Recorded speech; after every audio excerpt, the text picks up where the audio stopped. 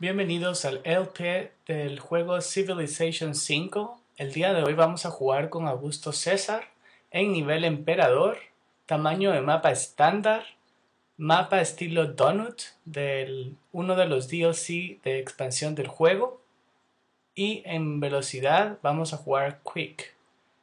Como les dije el nivel es emperador así que va a ser un poco difícil.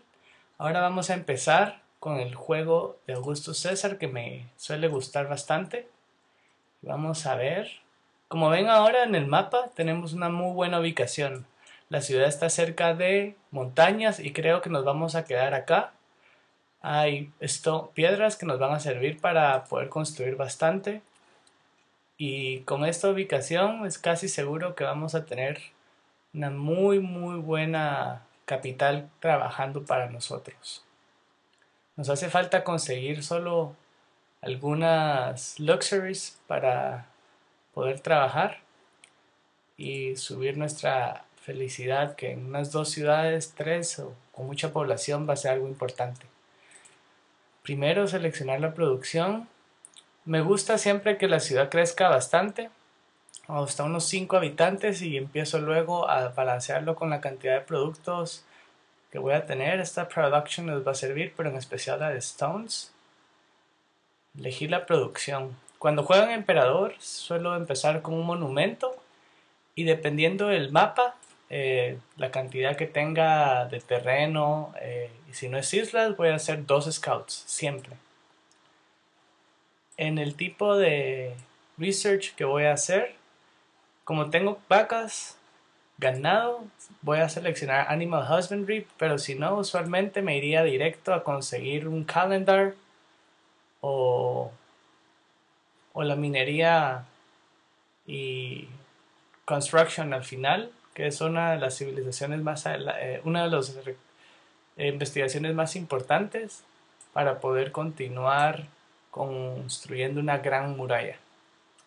Vamos a ver, aquí está interesante. Como ya sabemos, este mapa nos da la ventaja de saber que es forma de una dona. Entonces podemos esperar que ahora estamos acá en el área del sur, en el borde de la dona, y el mapa va a seguir una forma redonda. O sea, seguir más piedras, eso nos sirve. Muy bien, las ruinas son súper importantes al inicio de un juego. Y usualmente cuando ven ahí ruinas van a saber que bárbaros van a estar cerca. O si no, que va a haber también alguna de las ciudades libres que suelen ser buenas aliadas. Vamos a ver de nuevo, crecimos. Todos acá. En lugar de eso, tal vez acá crezca rápido la ciudad. Estamos sacrificando un poco de producción al inicio, pero vale la pena. Ya con una ciudad de unas 5 o 6, 5, 6 mil habitantes, es muchísimo más fácil crecer y va a ser súper útil. Vamos a hacer nuestro primer scout. Cuando estemos construyendo nuestra gran muralla o alguna de las nuevas maravillas que dieron gratuitos los de Civilization 5 en la expansión de en el último update. Vamos a ver, aquí vamos a hacer Masonry. Como ven, para poder llegar acá. Y cuando estemos ya en la posibilidad dentro de dos turnos de cambiar nuestra política vamos a seleccionar libertad. Esa es la que siempre utilizo al inicio. Libero la social policy de libertad y luego, dependiendo de la gente que tenga cerca, si me descubren o no otras civilizaciones, suelo tomar el obrero y luego algún fundador. Genial. Adoptemos ahora nuestra primera política. Muy bien, otra ruina por allá. Como ven, yo estoy rodeando mi ciudad, la, capital, para ver qué terreno me conviene más. Como les dije, libertad nos va a dar uno de cultura en cada ciudad y al terminar de descubrir las cinco políticas vamos a tener una persona, una gran persona. Más producción, tenemos nuestro primer scout, damos un segundo scout. Ese scout lo vamos a enviar al otro lado para que trabaje en equipo con él. ¿Por qué me voy a ir a esta esquina? Porque quien quita y hay en esta área de acá alguna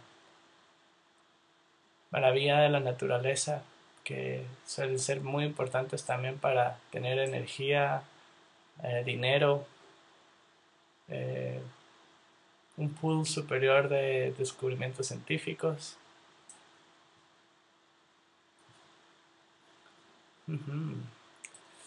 Genial, ya sabemos, fe. Una, dos, tres bárbaros.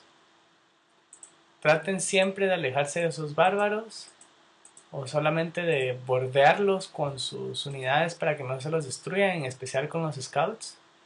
Tres, muy bien. Vamos a ver. Tengo todavía muy poco dinero, solo con 43 de oro va a estar un poco complicado. Y ahora hemos llegado al turno número, turno número 10. Estamos por ahora en uno de los niveles más bajos, pero no tengan pena. Ahora vieron, solo con que tuviéramos una persona más de población, subimos al nivel medio de desarrollo. Y eso es algo que tenemos que tratar de continuar eh, manteniendo para aprovechar al máximo este ascenso que vamos a tener cuando hagamos la segunda ciudad, cuando construyamos nuestra primera y segunda maravilla. Una gran decisión es ahora con Masonry si empiezan a trabajar en las pirámides, pero en la ciudad actualmente tenemos muy, muy poca producción como para lanzarnos a, hacer eh, una maravilla. Lo que voy a hacer ahora va a ser en lugar, ah, una ruina. En lugar de la maravilla, voy a construir un trabajador. Bueno, ahí está el... Y luego ya me pongo a hacer otro tipo de cosas. Nos estamos acercando ya. Bordeo a ese... Ahí está, ¿ve? Hmm, ese me hubiera destruido si me hubiera ido a este lugar. Matan a mi pobre scout y pierdo una pieza muy valiosa cuando estamos empezando un juego de Civilization. Recuerden, vieron, un ataque. Si lo ataco de nuevo ahora, aquí va a estar otro guerrero, entonces no es una buena idea. Lo mejor es continuar mi camino. Me alejo unos dos o tres eh, turnos y luego aquí me atacaron de nuevo. Lo mejor es alejarse unos dos o tres turnos y luego quizás ponerme, poner el scout y el guerrero a recuperar sus energías para que no me agarren de sorpresa de nuevo Masonry, otra política. Acá el obrero, que nos urge empezar a mejorar nuestra producción y prepararnos para construir una muy buena maravilla que nos va a dar muchas cosas. A ver, evaluemos el mapa. Es muy probable que me vaya a venir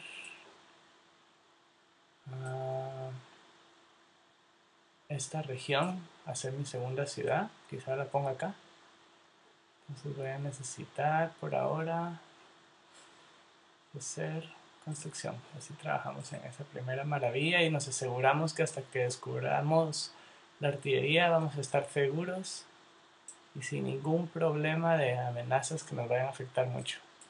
Kuala Lumpur muy bueno. Tenemos nuestra primera. Aquí pongamos S al recuperarse.